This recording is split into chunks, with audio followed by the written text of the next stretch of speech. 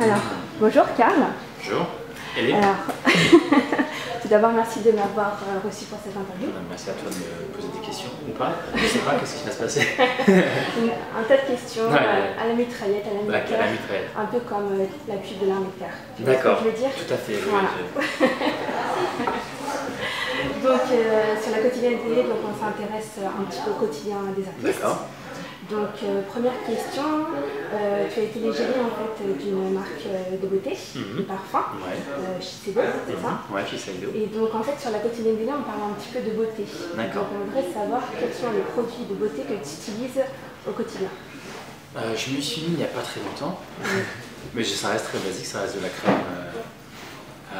ça reste de la crème de jour, je sais même pas ce que c'est, c'est des trucs hydratants après la douche, t'as la peau qui tire, tu dis tiens je vais mettre de la crème, ça tire moi. C'est voilà, les, ça, les astuces vraiment de beauté que tu dois utiliser. Donc ça c'est naturel en fait. Euh, C'est assez naturel, Voilà. des fois je me trompe, c'est de la pâte à dentifrice, tu vois, je, suis encore novice dans le domaine. En tout cas c'est précis. Des hein. fois je suis très mentholé, tu vois, c'est c'est des dentifrices. D'accord. Euh, donc tu as été égérie pour le parfum Zen. Ouais. Est-ce que tu es zen au quotidien? Euh, pas vraiment. Euh, un, faux, un faux zen ou euh, ça dépend. Ça dépend. Mais j'essaye d'être zen, j'essaye d'être zen pour euh, essayer de ne pas me perdre et être à 200 à l'heure et regarder un peu partout. J'essaie de, de, de- d'être focus sur quelque chose de précis euh, pour faire une journée efficace. Mais c'est pas forcément gagné. D'accord. Donc tu as des périodes mais pas J'ai des périodes, comme tout c'est ça, Ouais. c'est ça. Tu vois, du, du- l'exomie, les choses comme ça, ça marche. Donc justement pour garder un certain équilibre, euh, donc j'ai vu que tu étais, tu avais fait de la gymnastique et Ouais. du sport de combat. Mhm. Euh, donc euh, je suppose que ça t'aide à garder la forme. Ça aide, ça, ça aide hein, parce que j'ai- Ouais. j'ai fait de la gym pendant longtemps. Pas mal d'années. Les sports de combat, j'ai pas été aussi loin que, que la gymnastique, c'est quelque chose qui m'a plu, mais bon, j'ai mon premier amour c'était la gym, hein, c'était vraiment là où je m'éclatais le plus. Et euh, oui, ça aide bien, ça aide à, quand tu as physique, ça aide à te blesser aussi, ça aide à te faire mal, ça aide à bien t'abîmer, mais euh, après tu fais ça vraiment, euh, tu vois, à mon âge maintenant, je fais ça un peu plus doucement, un peu Ah, aussi. tu euh, fais très très bien, oui, oui, c'est euh, terrible, hein, j'ai très bon chirurgien.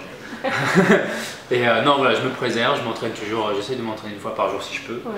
Euh, quand tu bosses, des fois, c'est pas évident, tu t'entraînes pas du tout, mais euh, Donc tu t'imposes un peu une discipline. ouais. euh, quand, je, quand je peux être maître de mon planning, j'ai de l'entraînement tous les jours. D'accord. Euh, après, si c'est pas moi qui gère, je tourne une journée de tournage un peu long ou des, des, des rendez-vous, des choses comme ça. Euh, mais j'essaye. J'ai toujours des élastiques dans mes sacs de voyage pour peut-être à l'hôtel, euh, faire un peu des mouvements. J'essaye. C'est super important. Puis pour moi, c'est un bon, c'est un bon équilibre. D'accord. Ouais, ça me permet de reconnecter avec ce que je fais. Ok. Euh, donc je sais pas si en ce moment tu euh, le sais, c'est la Fashion Week. Mhm. Euh, Euh, à New York. Oui, à New York. Et euh, celle de Paris va commencer. euh, D'accord. Euh, Est-ce que tu aurais un créateur préféré? Ou pas? Ou pas, c'est ça, c'est. Ou pas. C'est, pas. euh, euh, je, je, je suis. Si tu veux, comme je voyage beaucoup, Ouais.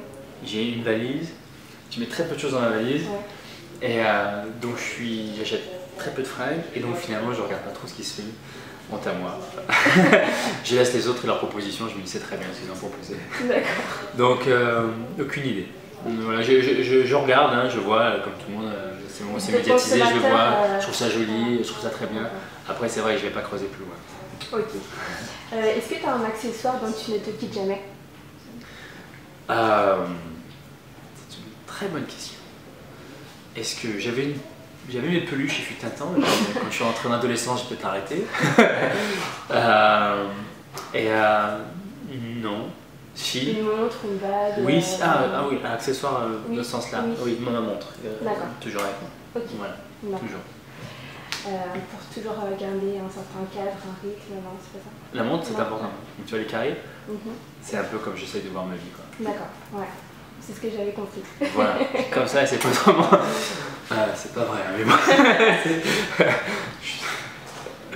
On le dira à personne, Non, personne ne l'entendra. ne. Euh, donc euh, justement, euh, que- quelle est la place de la musique dans ta vie? Est-ce que tu en donnes une grande importance? Qu'est-ce que tu écoutes? Alors, je, la place de la musique, c'est très important pour moi. J'aime bien avoir de la musique autour de moi.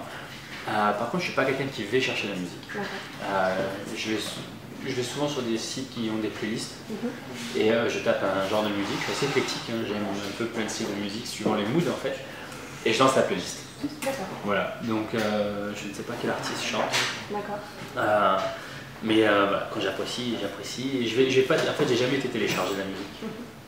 Donc j'ai jamais eu cette démarche de m'enseigner qui fait quoi, qui chante. Et comme aujourd'hui avec le net, tu, la musique c'est accessible, je, je, je cherche pas. Je tape un genre de musique que j'aime bien, je lance la playlist et puis il y a toujours des musiques qui s'enchaînent derrière. Donc ça reste assez Donc, c'est toutes les actualités, tout ce qui sort. euh, Je suis pas, ouais, je, je suis, je suis pas trop en fait. Je, ça doit être dans la playlist qui va passer en boucle. Mais c'est des longues playlists, des fois de 1000 chansons. euh, J'en écoute des artistes sans le savoir. Oui, bon, il y en a plein qui ont, dont dont on connaît pas les. Ouais. Euh, donc là, on va passer plutôt sur ton quotidien professionnel. Ouais. D'accord. Ton métier, donc tu, comment tu pourrais caractériser ton arrivée dans le cinéma Parce que euh, tu as ça a sûrement changé quelque chose dans ton quotidien. Euh, oui, ça s'est bah, ça s'est fait doucement dans le fond. Hein. Rien ne s'est fait du, jour au lendemain. Euh, je suis monté à Paris. Euh, je voulais utiliser la casquette. J'avais, j'avais fait beaucoup de gymnastique, beaucoup de sport. Donc je me dis, je vais utiliser ça pour essayer de rentrer dans des productions d'action. Le Besson, il en faisait beaucoup. Il en fait toujours beaucoup, mais du moins il en faisait des françaises ou du moins qui tournaient à Paris. Je me dis, je vais essayer de rentrer dans ce créneau-là. Euh, j'ai fait les bonnes rencontres qui m'a permis d'y accéder, donc c'était top.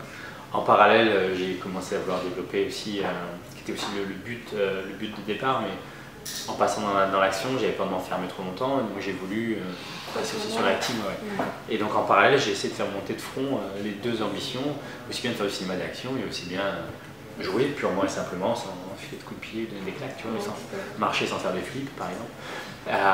Donc voilà, alors ce qui a changé, oui, c'est que bah, il n'y a pas eu de changement parce que j'ai pas eu un déclic, c'est passé, c'était du jour au lendemain, j'ai décidé de m'impliquer là-dedans à 100%. Ouais. Donc c'était ok, je veux faire ça, je vais le faire à 100%. Donc c'est pas au fur et à mesure, j'ai fait une rencontre, tiens, ça m'a donné une idée, et puis tiens, ça, c'est quelque chose qui était dans ma tête depuis, euh, depuis l'enfance. Et puis du jour au lendemain, je dis allez, maintenant, tu ne fais que ça, 100%, tu te donnes à fond, tu prends pas d'autres petits boulots à côté qui va te prendre deux mois de travail, tu fais, tu te démerdes, tu te débrouilles, tu dois faire tes choses. Voilà. Oui, c'est Mais tu dois toujours, ouais, tu dois pas, ouais, c'est ça. Parce que tu ne dois pas sortir du, sentier, tu dois vraiment aller dans la même direction et tous tes efforts doivent converger au même point euh, là où tu veux aller. Sinon après c'est difficile. Donc euh, ça n'a pas changé au fur et à mesure, c'est que quand j'ai commencé à en vivre, voilà, c'était déjà un peu, plus sympa. Mais euh, j'ai commencé à voyager, donc si tu veux les ambitions ont toujours été et elles sont toujours, hein, parce que je suis loin d'être arrivé. Il y a beaucoup d'étapes, beaucoup de choses à faire, mais je reste toujours dans cette lignée, pas lâcher. Voilà. D'avoir une ligne de conduite. hein. C'est ça, c'est ça, il n'y a rien d'autre. Focus. Et justement, alors, euh, qu'est-ce que ça fait de travailler avec Luc Besson Quand même, un maître. euh, bah, c'était, euh, c'était génial parce que lui, j'avais rencontré, euh, euh, comme n'importe quel groupie, euh, il faisait une avant-première dans le sud. Et j'étais là, j'ai dit, il faut, faut que je bosse avec lui. J'ai préparé, euh, j'ai préparé des photos et un CV. Je me dis, tiens, j'avais lui donné mon, mon CV, j'ai j'ai fait et ça et mi. Et puis j'arrive le voir, j'arrive, euh, je l'arrête. Il partait d'une avant-première donc à Montpellier et je l'arrête et je lui dis, écoute, euh, bah, écoutez, j'avais la gorge qui se serrait. J'ai fait écouter, voilà, je suis euh, acteur, je fais un peu d'action, euh, voilà, euh, voilà mon CV. Et il était tout gentil, il fait écoute, euh, voilà l'adresse email de mon directeur de casting, ou l'adresse mail de mon directeur de casting, envoie-lui ça. Et il s'en va et là, je dis non, il faut qu'il parte avec mon enveloppe. Et je savais qu'il partait à Nîmes après, juste derrière. Donc j'attendais sur le parking, il part, je suis avec ma voiture sur l'autoroute, il se gare à Nîmes, je reprends un ticket, je repaye donc euh, la séance. Je me rassois premier rang, monsieur il se remet devant, comme ça il fait son speech, il me regarde, il me reconnaît. Il s'en va et là je suis derrière et puis je l'arrête, il fait non, euh, ça je vais vous donner mon enveloppe. Et il la prend. Je sais pas si ça a changé quelque chose, hein, je pense pas du tout, du tout, du tout. Mais euh, c'est une belle anecdote et qu'après je me suis retrouvé donc sur ces films, dont chez lui en Normandie, euh, il a une production là-bas où il tourne beaucoup de films. Donc c'est chez lui en Normandie, dans son jardin, euh, à faire du sport avec les potes, lui il joue au tennis. euh, tous les jours le matin à être chez lui, euh, à regarder euh, quand il pleuvait, qu'on pouvait pas tourner, il nous mettait un film dans son sorte de petit cinéma, on faisait du tennis sur son terrain de tennis. Et tu le voyais évoluer autour de toi et là tu te dis, euh, bah, c'est déjà une belle étape. Bon, on se rapproche de quelque chose. Et euh, ouais, c'était, euh, c'était bien pour ça de se dire que je suis chez Luc Besson, je m'amuse avec ses choses à lui, tu vois, et c'est une belle étape. Ouais, on, y arrive, on y arrive. on se Tu rapproche. marches dans ton expérience. Ouais, ça c'est des choses. euh.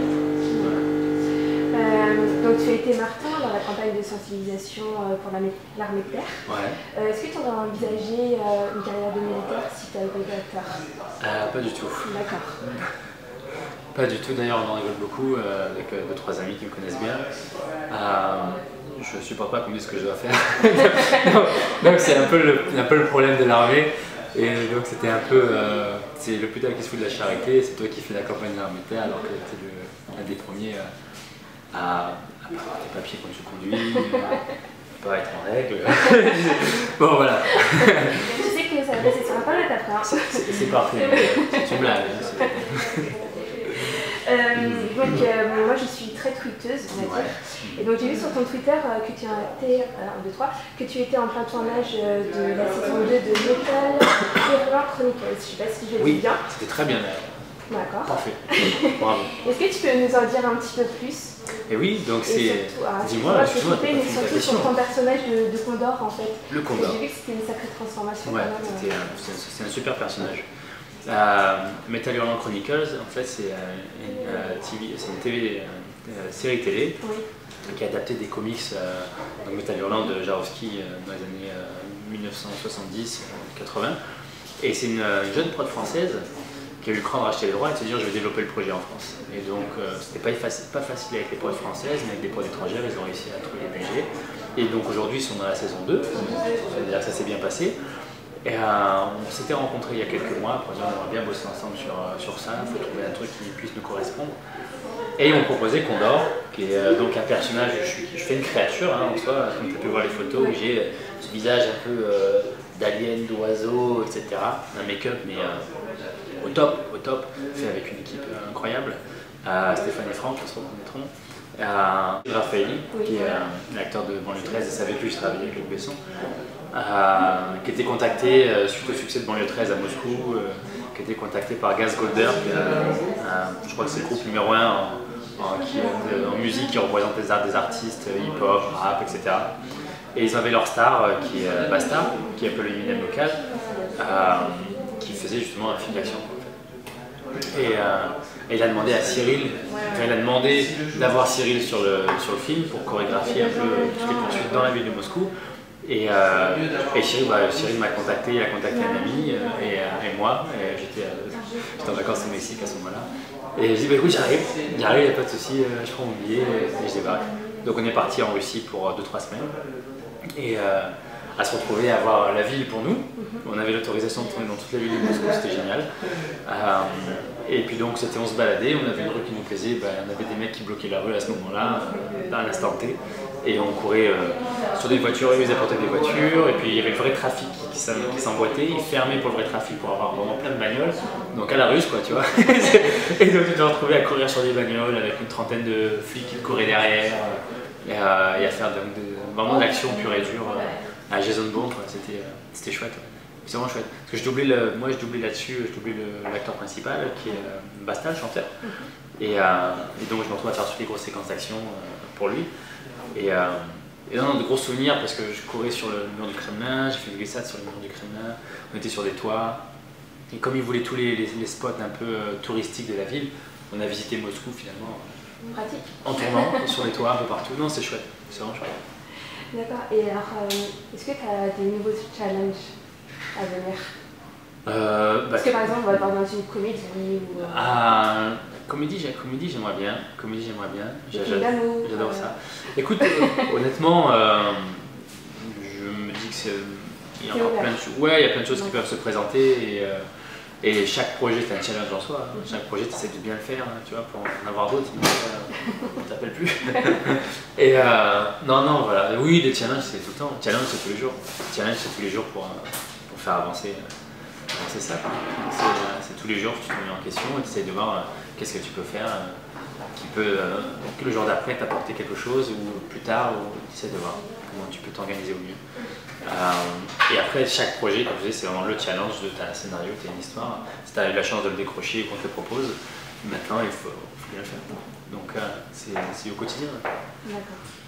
Bon, on va faire, finir l'interview euh, par un, un ping-pong, on appelle ça comme ça. Ouais. En gros, je te donne une question et tu me réponds du tac au tac. D'accord. D'accord? Donc, euh, est-ce que tu es plutôt petit-déj, déjeuner ou dîner? Euh, je suis euh, dîner. Carnivore ou végétarien? Carnivore. Fumeur ou non? Non. Twitter ou Facebook? Euh, c'est relié, c'est connecté. Ah oui, t'as les trois là Je connecte. Peu importe où ça va sur les deux. Mais la même. Euh, quelle est l'application que tu consultes chaque matin? Euh, Facebook. D'accord. Donc c'est plutôt Facebook. C'est plutôt Facebook. Euh, ni moi, parisien ou américain? Euh, interrien. Bonne réponse.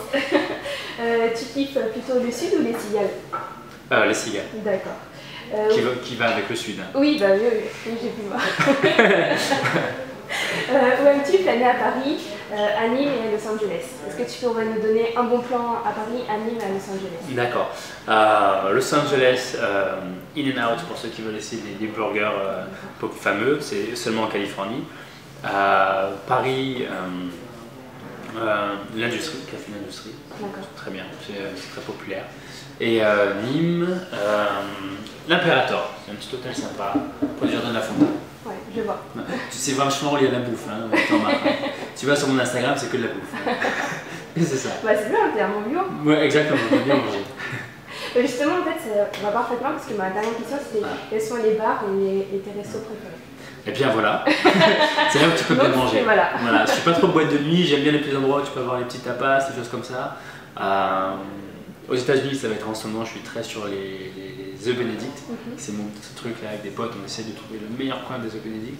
Je Euh, sais qu'à Nîmes, il y a la Bodega qui est euh, réputée pour euh, les tapas. eh ben oui, ça c'est euh, laquelle où ça l'appelle C'est, je crois, à côté de la place d'Assas, non? D'accord, exactement. Ouais, bah écoute, c'est pas là où je traîne. D'accord. Mais oui, la bodega, d'accord, tapas. Euh, Nîmes, non, Nîmes, ce que j'aime bien, c'est les gardiens, des choses comme ça. Tu vois, surtout quand il y a les farias, les farias, les. Ah non, c'est pas la Bodega, c'est Bodega, excuse-moi. Ah bah voilà, c'est pour ça que tu m'embrouilles. C'est la bodega, c'est ce qui se passe quand t'as la. Ah, voilà, c'est. C'est les, Excuse-moi, je suis c'est chapiteaux. Alors. J'étais en train de me dire aussi qu'il y a un chapiteau à Nîmes. mais Sa place d'Assas, j'y vais pas souvent, peut-être qu'ils ont ouvert un truc là-bas.